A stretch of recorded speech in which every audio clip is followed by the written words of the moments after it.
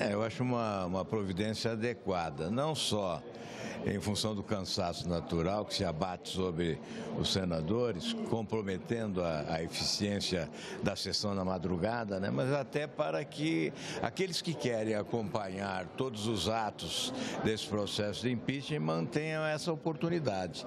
Então, interromper às 11, retomar no dia seguinte pela manhã, seria uma providência adequada. Mas esse número de oradores inscritos está surpreendendo, né? São 40 até agora. É, exato. Eu imaginava mesmo que nem todos falariam.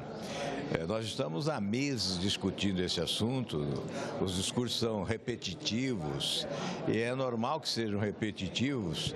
Nós mesmos já nos esquecemos do que dissemos lá atrás, né? então é bem possível que estejamos repetindo argumentos que já usamos. Enfim, é um processo lento, gradual, é, existem normas estabelecidas, devem ser respeitadas. Então é evidente que não é um desejo nosso esse prolongamento do debate, né, mas ele vem ocorrendo e se torna realmente cansativo. Eu já acho que todos nós desejamos virar essa página o mais rapidamente possível.